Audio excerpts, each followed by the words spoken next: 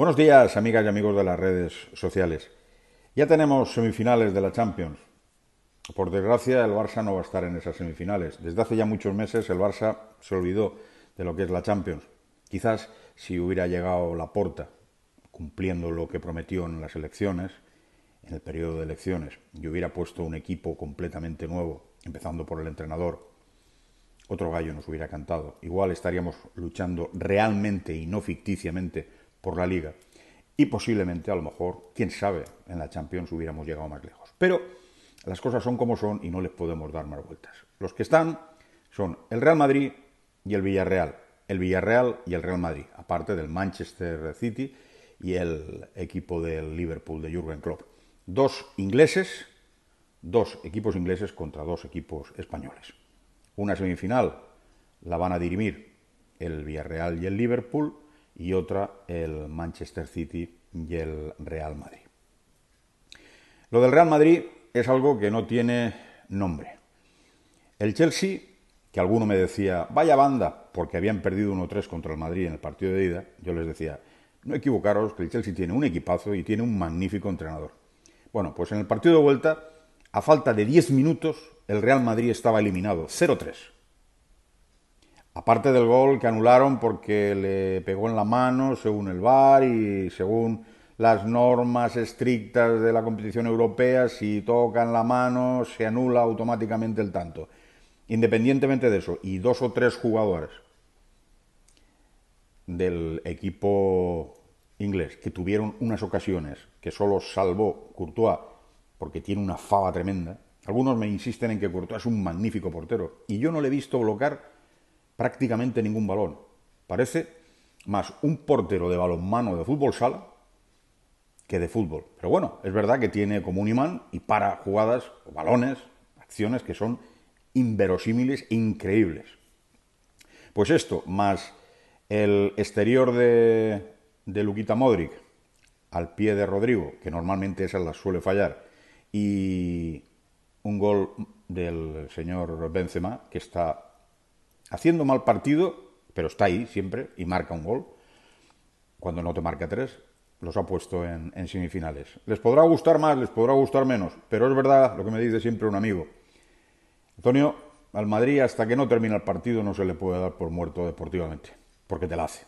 Y es verdad, tiene razón. Y más en esta competición, tiene algo especial. Y estando en semifinales ya puede pasar cualquier cosa con el Real Madrid. Aunque no juega nada, aunque en la liga, en la primera vuelta sí que hiciera las cosas bien y los deberes, y ahora eh, sacar los partidos lo tenga que hacer pues a expensas de un Courtois parando fantásticamente, un Vinicius haciendo alguna jugada rápida o un Benzema pletórico que está marcando todo lo que toca. Pero a partir de ahí, y un Luca Modric que está muy bien, por supuesto. Pero a partir de ahí, el Madrid en muchos partidos no juega nada y estarán conmigo en eso. Pero ahí lo tienen, en semifinales y a punto de ganar la liga.